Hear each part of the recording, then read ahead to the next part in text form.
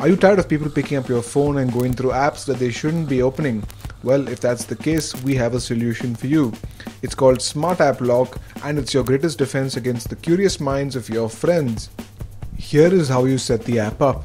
Download Smart App Lock. You'll find the download link in the description below. When you first fire the app up, it'll ask you to set the password. The default password is 7777. Now the app lock tab will show up. Tap the green plus button at the bottom. Select apps that you want to lock down with a password. All you need to do is tap the check mark next to each app that you want to protect and then tap add. Next to each app, you'll see a button labeled fake. Tap this button to enable a fake app crash message. Whenever you open an app, you will see a message like unfortunately WhatsApp is stopped. This will show the name of whichever app you have enabled the setting for.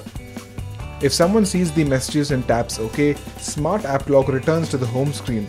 But if you tap and hold OK, you'll be asked to enter the app password.